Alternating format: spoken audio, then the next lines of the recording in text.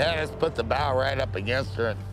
Port Protection mainstay Timothy Curly Leach and newest resident Amanda Makar are getting Curly's vessel, the Little Pelican, ready to go halibut fishing.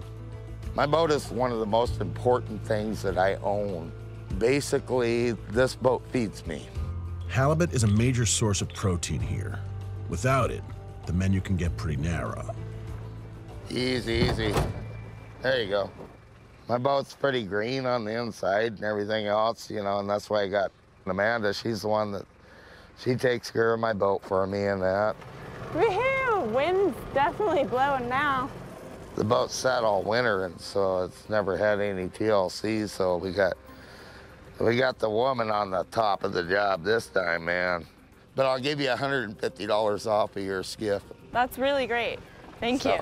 This is a really sweet deal for me because my labor is going to pay off some of the debt that I owe him for the skiff I just bought from him. So it works out for both of us.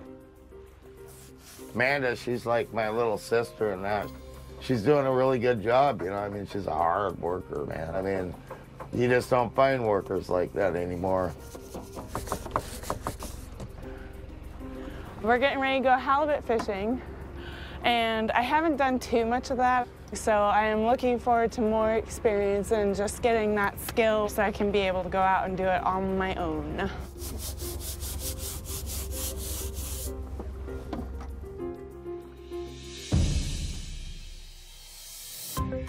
This boat has caught probably thousands and thousands of fish.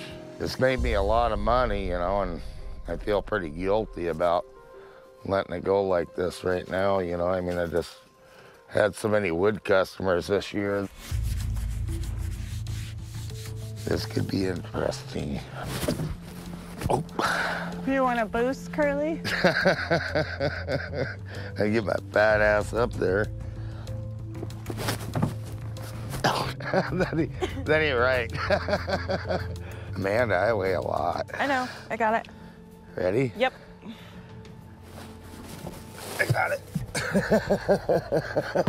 Thank you. This is, uh, it's tough work and it's gross, but it does feel really nice to have some um, payment taken off of my debt. Yeah, you did an awesome job. Maybe someday I can make a deal with you and you can clean the bottom of my skiff.